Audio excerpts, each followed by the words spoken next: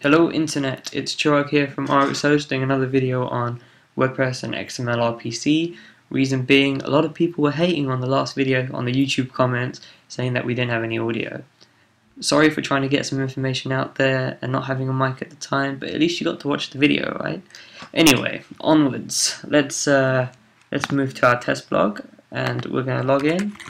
And I am hang on one second.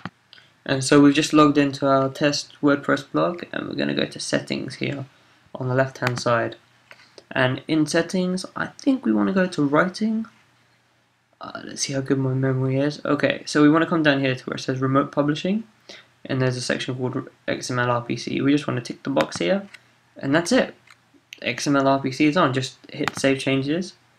And you're done. And the way you check that is you take your URL. So, for example, whatever your WordPress address is, so if it's myblog.com, you just do myblog.com forward slash xmlrpc.php.